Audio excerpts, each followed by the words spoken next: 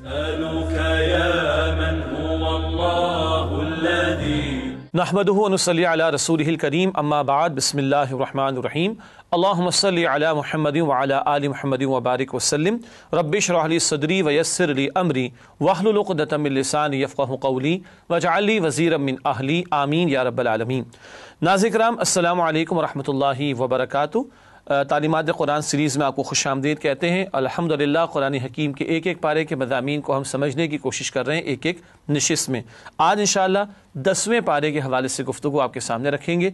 हमेशा की तरह सबसे पहले आपके सामने तारुफ पेश खिदमत है और तारुफ के हवाले से सबसे पहली बात, कुरान करीम के पारा नंबर दस का मुताला इन आज हम करेंगे। मजीद बना सूरतनफ़ाल रुकू नंबर पाँच तसूरत तौबा, रुकू नंबर ग्यारह। ये रुकू है अनफाल और सूरत तौबा के, जिनका तजिया और मुताला आपके सामने रखा जाएगा। आयत का भी ज़िक्र कर देते सूरतनफ़ाल आयत नंबर इकतालीस सूरत तौबा, आयत नंबर तिरानवे। ये वो आयात हैं इन दो सूरतों की, जो दसवें पारे में शामिल हैं। नाजिक्राम तारुफ के बाद मकासद मताल की तरफ़ चलते हैं। क्या मकासद होते हैं? हर मरतबा सेम ही हुआ करते, लेकिन दोहरा लेते हैं। सबसे पहली बात, पारा नंबर दस की आयात के मजामी का जायज़ा, ताकि पूरे donde पारे के जो मजामी उनका एक ओवरव्यू हमारे सामने आ जाए।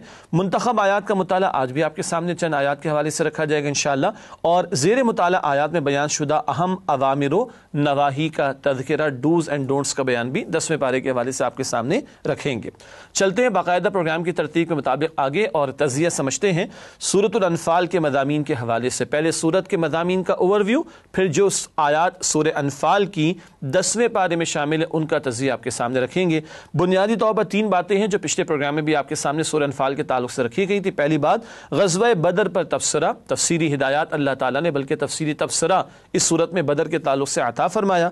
मजीद बना, कताल और माली गनीमत के बारे में हिदायत, ये भी आता हुई, क्योंकि पहला बाकायदा मार्का हुआ बदर का अहल ईमान और कुफ़ार के दरमियान। तो कताल के ताल्लुक से और माली गनीमत का मामला भी पहली मरतबा हुआ, हिदायत अता हुई। और अहल ईमान की सिफात, सूर अनफाल के शुरू में भी हमने समझी, और सूर अनफाल के आखिर में भी उसका तस्कर आपके सामने रखेंगे। इन ये तो पूरी सूरत के मदामी का जायज़ा था। अब आइए सूर अनफाल की वो आयात जो दसवें पारे में शामिल हैं, उनका तजिया आपके सामने रखते हैं और एक एक दो दो आयात का तजिया करके उन मौजूद या मजामी को समझते हैं जो पूरे पारे में बयान किए गए हैं। सुरनफाल आयत नंबर इकतालीस से बयान शुरू करते हैं। माल गनीमत की तकसीम का हुक्म और यहाँ बता दिया गया कि एक हिस्सा one point five twenty percent वो बैतुलमाल की तरफ़ जाएगा और वो रसूलुल्लाह सलाम के रिश्तेदारों को भी आता होगा और आम मुसलमानों में से जो हाजत में उनकी हाजत को पूरा करने के लिए इस्तेमाल होगा और फोर अपॉइंट फाइव या एटी परसेंट कह लीजिए, वो मुजाहिदीन में तकसीम किया जाएगा। फिर सुरनफाल की आयात बयालीस से चवालीस, बदर का मार्का अल्लाह की तरफ़ से तय था। बताया गया, अगर तुम खुद तय करने बैठते तो कभी ये मामला तय ना होता। अल्लाह ही ने चाहा कि अब ये टकराव होकर रहे और हक का हक होना और बातिल का बातिल होना साबित हो जाए। फिर आयात पैंतालीस से सैंतालीस, दौरान जंग मुसलमानों के लिए हिदायत, सब्र की तलकीन और डटे रहने की तलकिन, फ़रार इख्तियार न किया जाए इस बात की तलकिन, और कसरत से अल्लाह का ज़िक्र किया जाए इस बात की हिदायत अता की गई हैं इस मौके पर। फिर आयत नंबर अड़तालीस, शैतान की धोखा दही शैतान भी इंसानी शक्ल में मुश्किन के लश्कर में शामिल था, मगर जब उसने फ़रिश्तों का नजूल देखा तो वहाँ से झूठ बोलकर भागने लगा, कहने लगा, मैं तो अल्लाह का खौफ करता हूँ। फिर आयत नंबर उनचास, मुनाफिकाना तर्ज अमल। और मुनाफिकाना तर्ज अमल से एक मुराद ये है कि दावा कुछ है और दिल में कुछ हो, या दावा कुछ किया जा रहा हो और अमल उसके बरस किया जा रहा हो, या यह है कि अल्लाह की राह से फ़रार इख्तियार करने की कोशिश की जा रही हो यह भी मुनाफिकाना एक तर्ज अमल है। और मुशिकीन की तरफ़ ये मामला हुआ कि उनमें से कई लोग अपने सरदारों के खौफ की वजह से लड़ने के लिए आए थे, न कि यह कि उनके दिल में कोई जज्बा था जाने पेश करने का। इसके बाद सूरत अनफाल की आयात पचास था बावन, अजियतनाक मौत का बयान है। ऐसी मौत के जो अल्लाह की नाफरमानी में आ रही हो, ऐसी मौत वो कि जो हक़ की मुखालफत में आ रही हो, ऐसी मौत से बुरी मौत क्या मौत होगी? अल्लाह ताला बुरे अंजाम से हमारी हिफाजत फरमाए। फिर आयात तिरपन तचवन नाशुक्री से नेमत छिन जाती है। वो लोग कि जो अपने आप को हिदायत पर साबित कदम न रखें और जानते, बूझते दुनिया की मोहब्बत में डूबने की कोशिश करें, उनको हिदायत से दूर कर दिया जाता है। इसके बाद आयात पचपन तक सत्तावन, यहूद की अहद शिकनी का बयान अव्वल अव्वल जब नबी अक्रम मदीना शरीफ तशीफ लाए। और माहे हुए यहूद से तो माहे तो कर लिए, मगर बार बार इन यहूद के कबाइल ने खिलाफ वर्जी की। तो कुरान ने यह भी कहा कि फिर इनको सज़ा दी जाए ताकि आइंदा कोई अहद की खिलाफ वर्जी की कोशिश करके मुसलमानों को नुकसान ना पहुँचाए। फिर आयत नंबर अट्ठावन, अहद याफ्ता फरीक के खिलाफ कार्रवाई न की जाए। बड़ी अहम हिदायत अता की गई अहल ईमान को।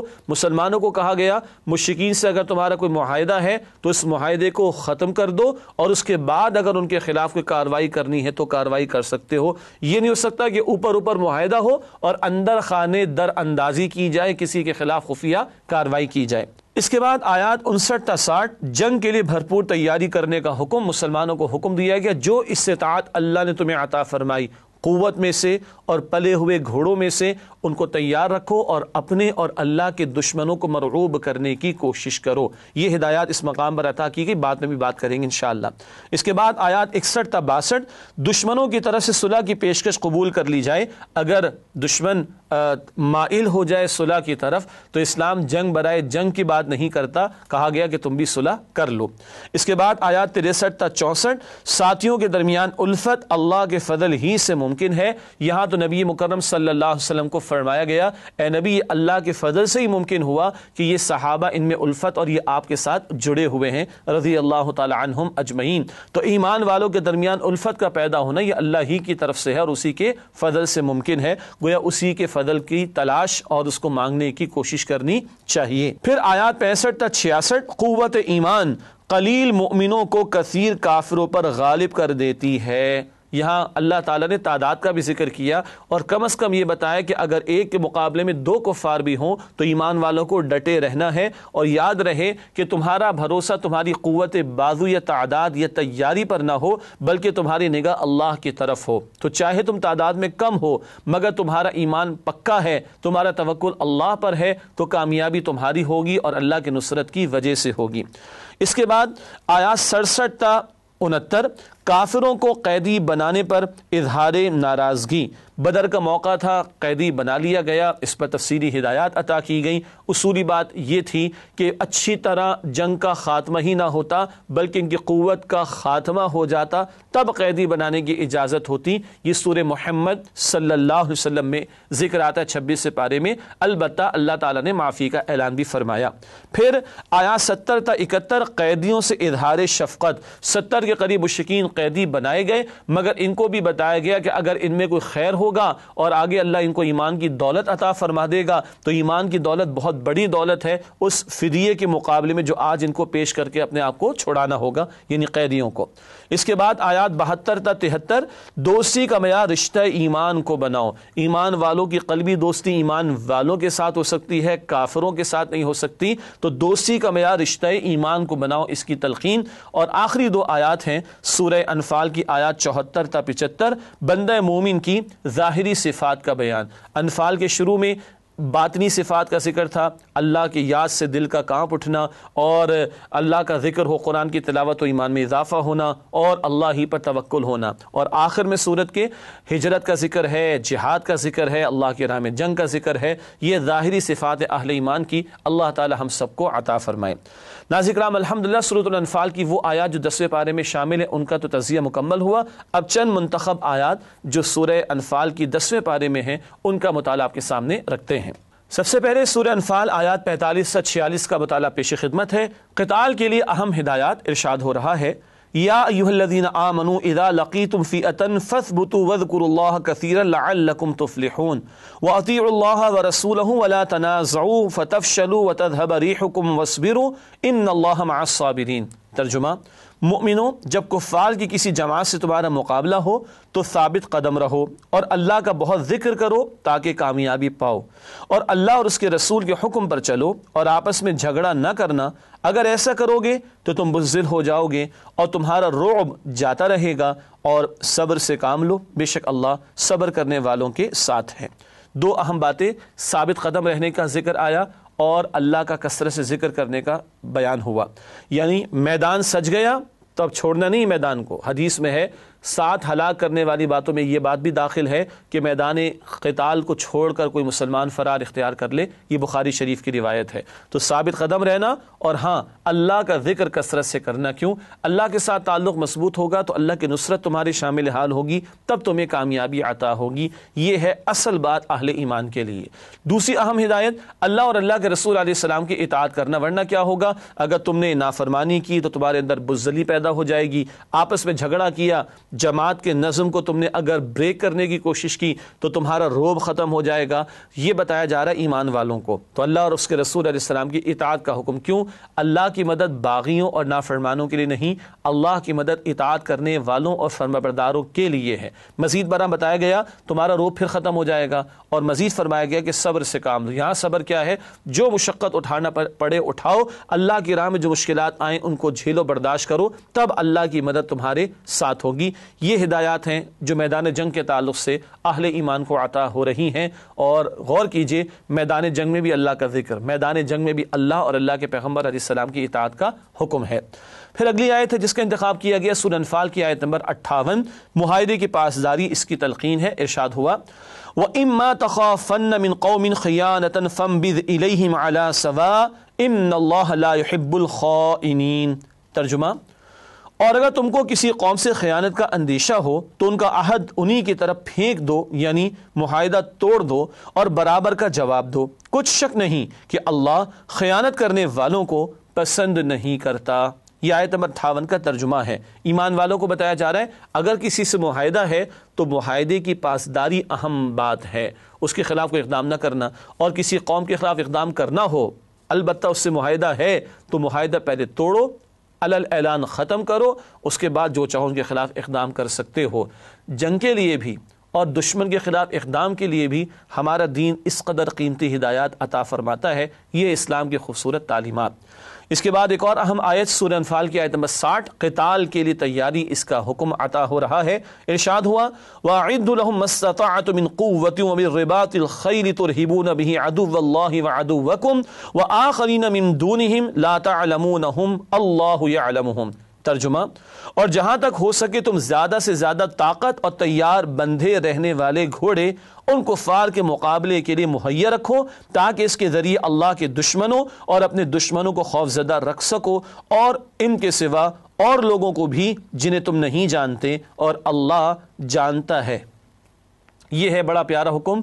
बड़ा कीमती हुक्म, जंग की तैयारी के अतबार से। दो बातें आई, क़वत में से जो हो, ज़्यादा से ज़्यादा ताकत में से जो मैसर आए, उसकी तैयारी करो और पले हुए घोड़ों में से। घोड़े अब भी दुनिया के बाद इलाकों में और अफवाज में कुछ कुछ मकाम पर इस्तेमाल किए जाते हैं। हदीस में है कि इस घोड़े की पेशानी के साथ बरकत अल्लाह ताला ने क़यामत तक के लिए रख दी। अलबत् ये जो मिन कुव्वा का लफ्ज़ आया तो हदीस में आया कि क़वत जो है वो फेंकने में है। उस दौर में नेज़ा था, भाला था, वो फेंका जाता था। आज बुलेट भी होगा, आज मिज़ाइल भी होगा और आज बम भी हो सकता है। लेकिन दीन ये भी बता रहा है, कुरान ये भी बता रहा है कि इस तैयारी का एक अहम मकसद और हासिल क्या है? अल्लाह के दुश्मनों को और अपने दुश्मनों को मरऊब रखना। नासिकराम आपको याद होगा, चौदह मई उन्नीस सौ अट्ठानवे भारत ने एटमी धमाके करने का ऐलान किया, बल्कि कर डाले।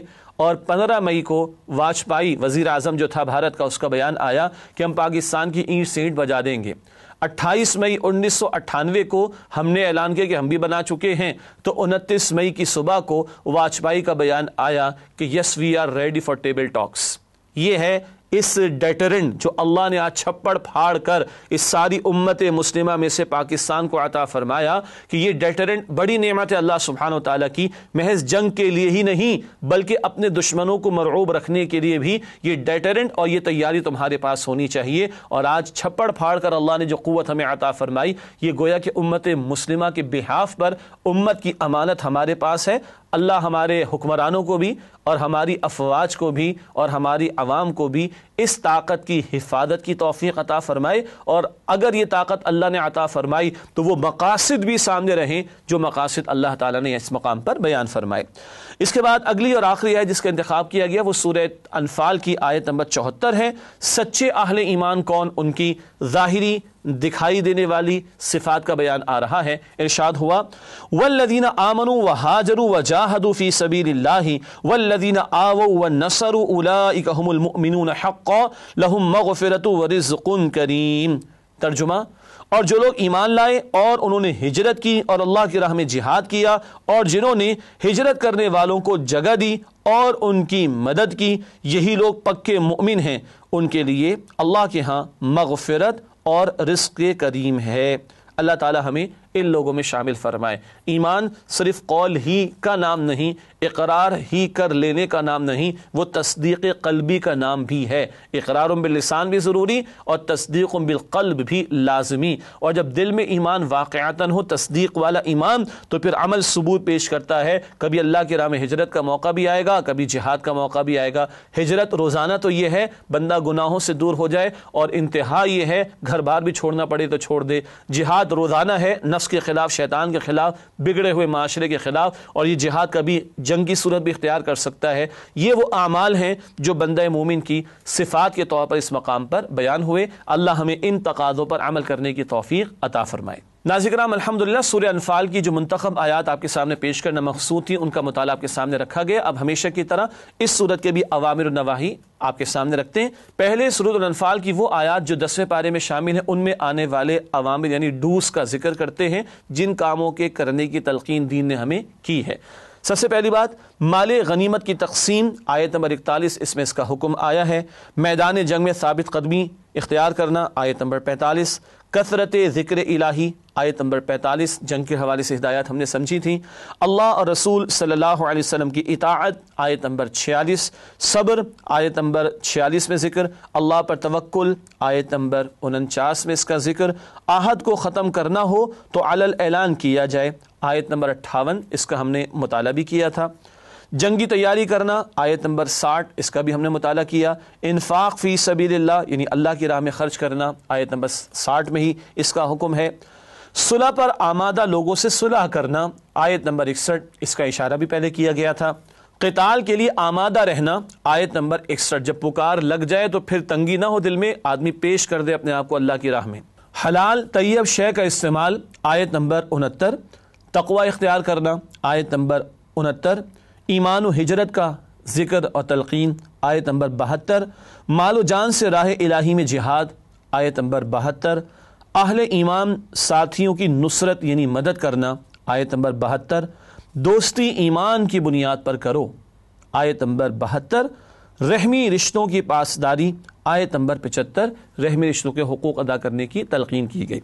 नाजिक कराम इसके बाद चलते हैं सूर्य अनफाल की वो आयात जो दसवें पारे में शामिल हैं और उनमें आने वाले नवाही, यानी डोंट्स का बयान।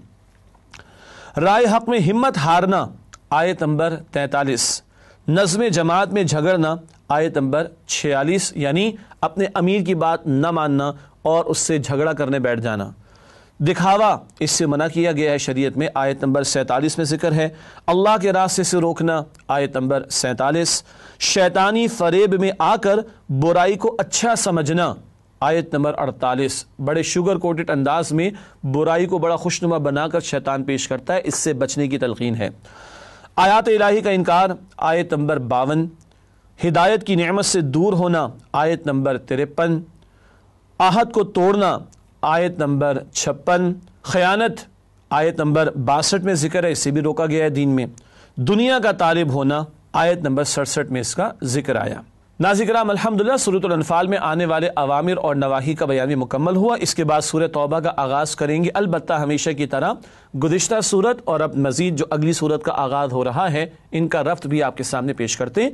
रब्त सूरत के हवाले से दो बातें नोट फरमाइएगा। पहली बात सूरतनफ़ाल में मुशिकिन मक्का के लिए आदाब की पहली किस्त गजब बदर का बयान था। ये पहली किस्त थी मुशिकीन के लिए, सत्तर मुश्क कतल हुए, सत्तर कैदी बनाए गए, बदर का बयान अनफाल में था। सूरत तौबा में मुशिकीन अरब के लिए हतमी सज़ा और सरजमीन अरब पर गलब दीन का ज़िक्र है। दो बातें हैं। मुशिकिन अरब के लिए हतमी सज़ा बयान की जा रही है। चार महीने की मोहलत दी जाएगी, फिर भी हक कबूल नहीं करेंगे। इनकी गर्दनें उड़ाने का हुक्म। ये बड़ी सख्त और भारी बात इस मकाम पर सूर्य तौबा में बयान हुई। और नंबर दो, सरजमीन अरब पर अल्लाह के दीन का गलबा होगा। बदर से जो मेहनत शुरू हुई, कताल की, अब उसका मकसद पाए तकमील को पहुंचेगा अल्लाह के दीन का गलबा। ये बयान सूर्य तौबा में आएगा इन ताला।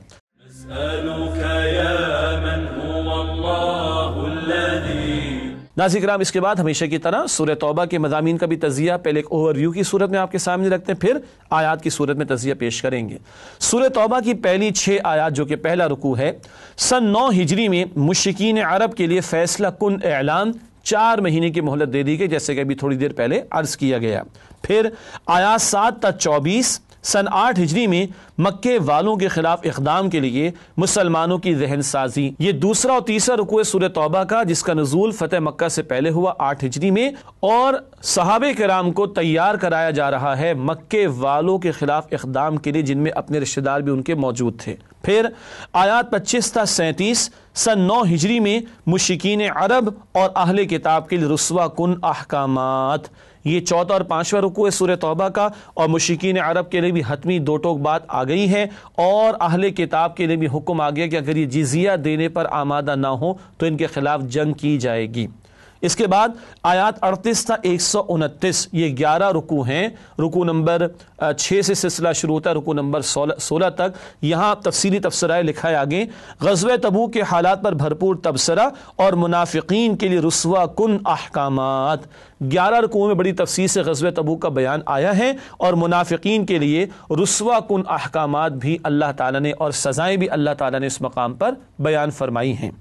नाजिक्राम अलहमदिल्ला सूर्य तौबा के मजामी का तजिया तो हमारे सामने आ गया। अब आयात का तजिया आपके सामने रखते हैं, जिसका मकसद होता है कि पूरे पारे के मजामी हमारे सामने आ जाएँ। सूर्य तौबा की वो आयात जो दसवें पारे में शामिल है, अब आइए उनका तजिया आपके सामने रखते हैं। सबसे पहले आयात एक तक छः। मुशिकीन अरब के लिए फैसला कन ऐलान। चार महीने की मोहलत दी गई, जिनसे मुहिदा नहीं या जो मुहिदा तोड़ चुके, चार महीने की मोहलत है। हाँ जिनसे मुहिदा है, मुद्दत मुकर है खिलाफ वर्जी उन्होंने नहीं की, उनके साथ माहिदा पूरा किया जाएगा। बाकी चार महीने की मोहलत हक कबूल नहीं करते तो गर्दनें इनकी उड़ा देने का हुक्म दिया गया। ये बड़ी सख्त सज़ा है जो ऐसी कौम के लिए होती है कि जिसके दरमियान पैगंबर को भेज दिया जाए और पैगंबर की बात को रद्द कर दें तो बिल आखिर अल्लाह की तरफ़ से आदाब साल मिटा देने वाला आदाब आता है। अलबत् अजीम अक्सरीत ने कबूल कर लिया तो कोई ऐसा बड़ा मैसेकर ना हुआ कि इनको बड़े पैमाने पर कत्ल करने की ज़रूरत पेश आई हो। फिर आयात सात ता पंद्रह हक व बातिल में सुलह नहीं हो सकती। कन्वर्ट भी नहीं हो सकता, हक व बातिल का मामला सुलह भी नहीं हो सकती। ये ईमान वालों को उभारा जा रहा है मुशिकीन के ख़िलाफ़ इकदाम के लिए। फ़तेह मक्का से पहले इन आयात का नजूल हुआ। फिर आयत नंबर सोलह, जन्नत खून जिगर देकर ही मिलेगी। कुरान कहते हैं, तुमने समझ लिया, ऐसी तुम्हें जन्नत मिल जाएगी। अभी सबर के मराहल भी आने हैं। अल्लाह तय कर देगा कौन हक के साथ है, कौन बातिल के साथ है। किसकी दोस्ती वाक़ता अल्लाह और उसके रसूल के लिए सल्लल्लाहु अलैहि वसल्लम? ये तो फैसला होना है। इससे गुजर कर ही तुम्हें जन्नत अता होगी। फिर आयात सत्रह तबाईस महदूद मजहबी तस्वुर की ज़ोरदार नफ़ी। चंद नेकियाँ करके मुशिकीन समझ रहे थे कि हम बड़े अच्छे हैं। हाजियों की खिदमत करते थे, खिलाते थे, पिलाते थे। बताया जा रहा है अल्लाह के घर में तुमने तीन साठ बुतों की गंदगी ला कर रखी हुई है और ये तुमने अल्लाह के खिलाफ बगावत मचा रखी है और अपनी दानिश में चंद नेकियाँ करके तुम समझ रहे हो कि तुम अल्लाह के यहाँ कामयाब हो जाओगे। आज भी हमारे माशरे में हराम के बड़े बड़े दरवाजे खुले हुए हैं बड़े बड़े गुना किए जा रहे हैं और दो चार नेकियों का सहारा लेकर कोई समझ बैठे कि भाई मैं यतीमों की किफ़ालत भी तो कर रहा हूँ सूद खोरी भी कर रहा है हराम खोरी भी कर रहा है और कह रहा है यतीमों की किफ़ालत भी तो कर रहा हूँ। ये है महदूद मजहबी तस्वुर, इसकी नफ़ी की है हमारे दीन ने। फिर आयत नंबर तेईस, दोस्ती की बुनियाद सिर्फ़ और सिर्फ़ ईमान पर रखो। इसी के तसलसल में अगली आयत आयत नंबर चौबीस, दुनियावी मोहब्बतों को दीनी मोहब्बतों पर तरजीह देने वाले फासिक हैं। आठ मोहब्बतें एक तरफ़, तीन मोहब्बतें एक तरफ़। इस आयत पर बाद में बात करेंगे। उसूली बात यह है कि टॉप पर रहे अल्लाह की और अल्लाह के रसूल सलाम की और अल्लाह के राम जिहाद की मोहब्बत। फिर आयात पच्चीस सत्ताईस, फैसला कुन शे इसबाब नहीं, अल्लाह की मदद है। अल्लाह फरिश्तों को भी भेजता है, ईमान वालों की मदद के लिए, मगर फैसला कुन शे अल्लाह का हुक्म, अल्लाह की नुसरत, अल्लाह की तायद हुआ करती है।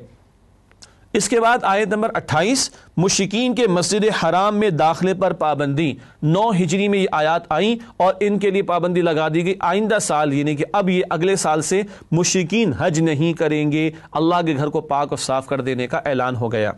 आयत नंबर उनतीस, इस्लामी रियासत में गैर मुस्लिमों की हैसियत। गैर मुस्लिम इस्लामी रियासत में रह सकते हैं। अलबत् जिजिया, जो कि टैक्स की शक्ल है, उनको अदा करना होगा ताकि इस्लामी रियासत उनकी जान, माल, इज़्ज़त, आबरू, घर, अकीदे और उनकी मजहबी इबादत गाहों की हिफाजत करे और उनकी किफालत भी करे। फिर आयात तीस इकतीस, यहूदियों और ईसाइयों का शिरक। माज अल्लाह, यहूद ने उजैर को, नसारा ने ईसा को अल्लाह का बेटा करार दे दिया अस्तफिर आयत नंबर बत्तीस आहले किताब साजिशों के ज़रिए इस्लाम का रास्ता रोकना चाहते हैं, इनकी साजिशों का ज़िक्र है। फिर आयत नंबर तैंतीस, नबी अकरम सल्लल्लाहु अलैहि वसल्लम की बेअसत का मकसद गलब दीन था, ताकि अल्लाह का दीन सरजमीन अरब ही नहीं, कुल जुए अर्जी पर गालिब हो जाए। ये मिशन था रसूल पाक सल्लल्लाहु अलैहि वसल्लम का, इस आयत पर बाद में भी बात करेंगे इन फिर आयात चौंतीस से पैंतीस और सूफिया की अक्सरियत लोगों का माल नाहक खाती है। मज़हब के नाम पर लूटने वाले सू, बुरे और बुरे सूफिया का ज़िक्र है कि लोगों का माल हड़प करते हैं। फिर आयत नंबर छत्तीस, साल में बारह महीने अल्लाह के तय करदा हैं। साल बारह महीने का ये अल्लाह के हाथ से तयशुदा है। मुशिकीन इसके अंदर कुछ गड़बड़ करते थे, बाद में उसका ज़िक्र होगा इन आयत नंबर सैंतीस नसी का कायदा हराम है। यही है कि वो हुरबत वाले महीनों को आगे पीछे अपनी मर्ज़ी से, अपनी सहूलत से कर दिया करते थे। इसको नसी कहा जाता है, बताया गया, ये हरमत वाले महीनों को आगे पीछे करना हराम। फिर आयात अड़तीस से इकतालीस अल्लाह की राह में निकलने से जी न चुराओ। अब गजब तबू के ताल्लुक से छठे रुकू से आयात शुरू हो रही हैं सूर तौबा की। और बताया जा रहा है कि अल्लाह की राह में निकलना तो पड़ेगा। और गजब तबूक सन नौ हिजरी में वो मौका है जब नफ़ीर आम का मामला हुआ। हर एक का निकलना लाजिम करार दिया गया। बताया जा रहा है कि जी न चुराओ। आयत नंबर बयालीस, मुनाफिकाना तर्ज अमल, जान छुड़ाते हैं, झूठे बहाने बनाते हैं, कताल में जाने से फरार इख्तियार करते हैं। आयात तैंतालीस अड़तालीस अल्लाह की राह में मालो जान लगाने वाले ही मुमिन हैं। जो जान भी लगा रहे हैं, माल भी लगा रहे हैं, यही साहिब ईमान है। गोया जो जी चोरा रहे हैं, उनका ईमान मशकूक है, बल्कि है ही नहीं। फिर आयात उनचास सा पचास कताल से फरार के लिए तकवा के पर्दे में लिपटा हुआ बहाना। एक मुनाफिक ने आकर कहा कि साहब, वो रूम के खिलाफ जाकर, रूमियों के खिलाफ जंग करनी है। वहाँ की औरतें बड़ी हुस्न वाली होती हैं, मैं तो बह जाऊँगा। अल्लाह अकबर कबीरा, कैसे कैसे पर्दे इख्तियार कर लिए जाते हैं झूठे बहाने के लिए। इसके बाद आयात इक्यावन था बावन। राय हक में मसरूफ़ अमल, अहल ईमान के लिए फ़ायदा फ़ायदा ही फ़ायदा। अगर शहीद हो गए तो हयात जावेदा मिल जाएगी। और गाजी बनकर लौटेंगे, तब भी माल गनीमत भी मिलेगा और माल भी मिलेगा, अल्लाह की अल्लाह की जो है वो रजा भी मिलेगी। मोमिन के लिए नथिंग टू लूज वाली बात। इसके बाद आयात तिरपन था सत्तावन, मुनाफिकीन का इन्फाक कबूल न किया जाए। ये अब सज़ाएँ बयान हुई हैं इस मकाम पर मुनाफिकीन की अब इनका कोई इन्फाक कबूल नहीं होगा। आयात अट्ठावन था उनसठ, मुनाफिकीन का नबी अक्रम अलैहि पर आदल न करने का बोहतान। माद अल्लाह बदकलामी करते, बोहतान लगाते रसूल पाक सल्लल्लाहु अलैहि वसल्लम पर। आयत नंबर साठ, ज़क़़त के आठ मसारिफ का बयान। ज़क़़त कहाँ कहाँ खर्च होगी उसकी आठ मददात या कैटेगरीज खुद कुरान ने डिफ़ाइन की हैं। फिर आयात इकसठ तक छियासठ, मुनाफिकीन की गुस्ताखियाँ, कहते थे हाँ जी, हम तो झूठे बहाने बनाते हैं और मोहम्मद वसल्लम हमारी बातों को मान भी लेते हैं, इनको तो कुछ समझ नहीं आता माद अल्लाह सुम्मा माद अल्लाह गुस्ताखी करते हैं। फिर आयात सड़सठ तक अड़सठ, मुनाफिकीन मर्द और औरतें नेकी से रोकते और बुराई फैलाते हैं। यह है मुनाफिक, नेकी से रोकते और बुराइयों को फैलाते हैं। फिर आयात उनहत्तर तक सत्तर तारीख से इबरत। बताया जा रहा है कि पिछलों को देखो, जिन्होंने फ़रार इख्तियार किया पैगंबर की इतात से, वो भी अल्लाह के आदाब में मुबतला हुए। ए मुनाफिको, तुमने भी हरकत की, तुम भी अल्लाह की पकड़ का शिकार हो गए। अब आयात इकहत्तर ता बहत्तर, मुमिन मर्द और ख़वातीन नेकी फैलाते और बुराई से रोकते हैं। ये ईमान वालों का तर्ज अमल, नेकी को फैलाना और बदी को मिटाना। फिर आया तिहत्तर तक चौहत्तर, मुनाफिकीन और कुफ़ार के ख़िलाफ़ जिहाद का हुक्म। इनकी साजिशों का रद्द किया जाए। इनके ख़िलाफ़ जिहाद किया जाए और इनकी साजिशों को नाकाम किया जाए। फिर आयात पचहत्तर ता सतहत्तर, अल्लाह से वादा खिलाफी की सज़ा मुनाफ़त इस, इन आयात पर हम बाद में बात करेंगे। झूठे झूठे वादे करने वाले लोग और अल्लाह सुबहान तला के तकादों से फ़रार इख्तियार करने वालों पर निफाक थोप दिया जाता है। फिर आयात अठहत्तर था अस्सी, मुनाफिकीन के लिए आप सल्लल्लाहु अलैहि वसल्लम की दुआएँ इस्तफ़ार कबूल ना होगी। यहाँ तक फरमाया कि सत्तर मरतबा भी ए नबी आसमाम आप इनके लिए बख्शिश मांगेंगे अल्लाह हरगिज़ इनकी बख्शिश नहीं फरमाएगा। ये और सज़ाएँ हैं जो मुनाफिकीन के लिए बयान हो रही फिर आयात इक्यासी ता बयासी, जहन्नम की आग दुनिया की गर्मी से बहुत ज़्यादा शदीद है। मुनाफिक कहने लगे, सैकड़ों मील का सफ़र है, गर्मी बहुत है। कुरान कहता है, जहन्नम की गर्मी ज़्यादा शदीद है। काश के इनको समझ आती। आयात तिरासी ता चौरासी, मुनाफिकीन की महरूमियाँ। नबी पाक सलाम को फरमा दिया गया, इनका जनाजा भी आइंदा ना पड़ाइएगा किसी मुनाफिक का, और इनका इन्फाक कबूल ना किया जाए, ये भी बात पहले आ चुकी। आइंदा कताल के किसी मैदान में इनको शिरकत की इजाज़त नहीं दीजिएगा। आयत नंबर पिचासी, मुनाफिकीन के लिए उनका माल और औलाद बाइस अजियत होंगे। कभी तो अब्दुल्ला बिन उबई का बेटा, वो सहाबी बन गए। अब्दुल्ला भी उनका नाम है। और वो ईमान ले आते हैं और इसकी जिल्लत हो जाती है। तो इनकी औलाद और इनके माल के ज़रिए इनको अजियत दी जाएगी, कुरान कह रहा है। फिर आयात छियासी तक सत्तासी, मुनाफिकाना तर्ज अमल का बयान, यानी कताल से फ़रार इख्तियार करना। फिर आयात अट्ठासी ता नवासी, मुमिनाना तर्ज अमल, माल और जान से जिहाद करना, सब कुछ अल्लाह की राह में लगा देना। फिर आयात नवासी त छियानवे गजब तबूक में शिरकत न करने वाले चार गिरोह और उनकी मुख्तलिफ़ कैफियत का बयान, कुछ माजूरीन थे नहीं जा सके, कुछ जाना चाहते थे अखराज पूरे नहीं थे अलैहि ने वापस कर दिया, रोते हुए चले गए, और कुछ मुनाफिकीन थे जो झूठे बहाने बनाते थे, और झूठे बहाने बनाकर रुख्सत चाहते थे, ये तस्करा आया है। और बिल्कुल आखिर में, दसवें पारे के आखिर में आया सत्तानवे ता निन्यानवे, अल्लाह की राह में खर्च करने वाले दो किरदार कुछ वो हैं जो अल्लाह की राह में सब कुछ लुटा देना और ख़र्च कर देना। उसको जो है वो सादत समझते हैं और कुछ का मामला है मुनाफिकाना तर्ज अमल, वो इसको बोझ समझते हैं, माद अल्लाह, सुम्मा माद अल्लाह। नाजिक्राम एक वक्फ़ा लेते हैं और उसके बाद इन मंतखब आयात का मतलब आपके सामने सूर्य तोबा के ताल्लुक से पेश करेंगे। असल वरहमल वबरकू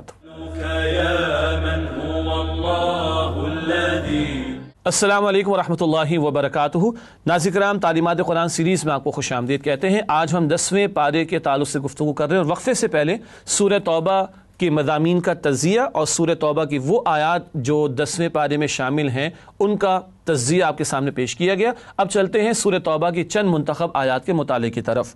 सबसे पहले सूर्य तौबा की आयत नंबर पाँच, हुक्म कताल और मुतवाजन तालीम। बड़ा प्यारा मकाम है, एक तरफ़ कताल की बात और एक तरफ़ रास्ता छोड़ देना और दरगुजर करने की बात भी की जा रही है। इर्शाद हुआ फ़ईदम सलक़ल अशहरुलहरम फ़ख्तुलमशिकीन हैथ वजतमुहम वख़ुदूहम वहसुरूहम वक़ुदूलहम कुल्ल मरसद।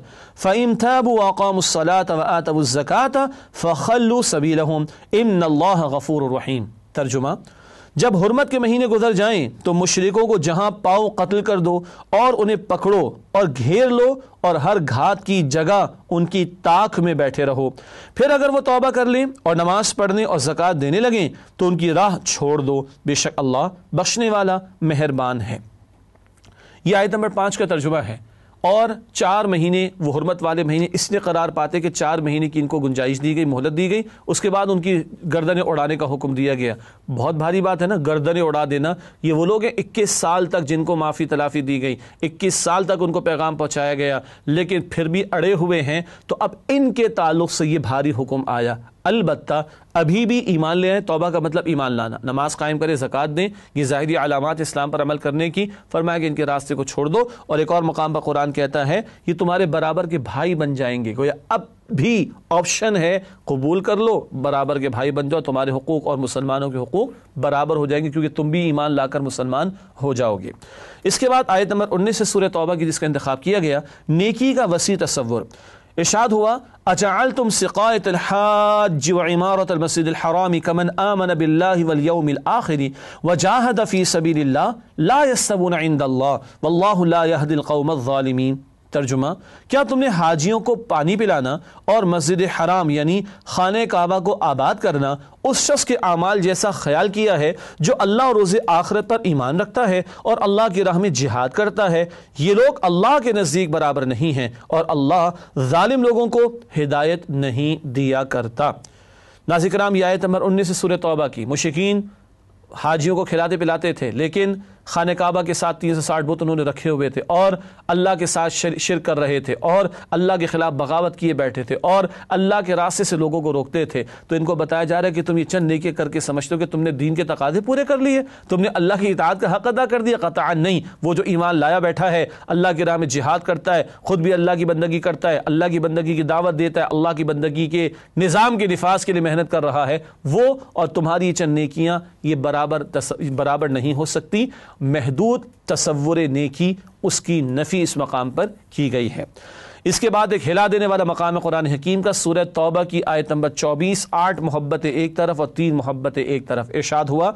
मोहब्बतों में तरजीहत के हवाले से, कुल इनकान आबा उकुम व अबना उकुम व इखवान उकुम व अजवाजुकुम व अशीरतुकुम व अमवाल इख्तरफ्तमुहा व तिजारत तखशौन कसादहा व मसाकिन तरदौनहा अहब इलैकुम व रसूलिहि व जिहाद फ़ी सबीलिहि फतरब्बसू हत्ता यअति अल्लाहु बिअमरी वल्लाहु ला यहदिल कौमल फासिकीन। तर्जुमा, कह दीजिए कि अगर तुम्हारे बाप और बेटे और भाई और बीवियाँ और रिश्तेदार और माल जो तुम कमाते हो और तजारत जिसके नुकसान से तुम डरते हो और मकाना जिनको तुम पसंद करते हो, अल्लाह और उसके रसूल से और अल्लाह की राह में जिहाद करने से ज़्यादा अज़ीज़ हैं तो फिर इंतज़ार करो। यहाँ तक कि अल्लाह अपना हुक्म यानी आज़ाब भेज दे और अल्लाह ना फरमान लोगों को हिदायत नहीं दिया करता।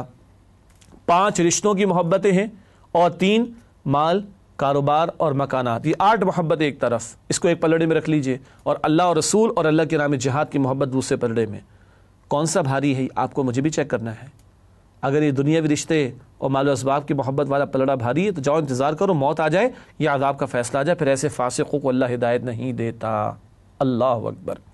हम भी इस तराजू को अपने बातिन में कायम करके देखें, कौन सा पलड़ा भारी। और याद रहे, अल्लाह की मोहब्बत किसी के माथे पे नहीं लिखी होगी। रसूलुल्लाह सलाम की मोहब्बत का सर्टिफिकेट कोई गले में नहीं लटका होगा। ये जिहाद का अमल, अल्लाह का बंदा बनने के लिए मेहनत, यानी जिहाद। अल्लाह के दीन की दावत पेश करने के लिए मेहनत, यानी जिहाद। अल्लाह के दीन की सरबुलंदी के लिए मेहनत, यानी जिहाद। ये मुस्तकिल अमल बताएगा कि ये अल्लाह और रसूल सलाम से मोहब्बत करने वाला और उनकी मानने वाला है। इसके बाद अगली आयत सूर तौबा की आयत नंबर तैतीस। नबी अकरम सल्लल्लाहु अलैहि वसल्लम का इनकलाबी मिशन, गलब दीन, इर्शाद हुआ। हुवल्लज़ी अरसला रसूल हुदादीन हुदा व लियुज़हिरहु अला कुल्ली वलौ करिहल तर्जुमा, वही है अल्लाह जिसने भेजा अपने रसूल सल्लल्लाहु अलैहि वसल्लम को हिदायत और दीन हक देकर ताकि वो इस दीन को कुल निज़ाम ज़िंदगी पर गालिब कर दे खा मुशरकों को कितना ही नागवार गुजरे। हिदायत से मुराद कुरान हकीम है और दीन हक से मुराद दीन इस्लाम है। अल्लाह रबालमी ने दीन नबी मुकरम आसमाम को आता फरमाया, क्यों? ताकि आप इसको कुल निज़ाम ज़िंदगी, सिस्टम ऑफ़ लाइफ पर गालिब फरमा दें। इसी से दीन का वसी तस्वुर भी वादे होता है और रसूल पाक सलाम का इनकलाबी मिशन भी हमारे सामने क्लियर होकर आता है।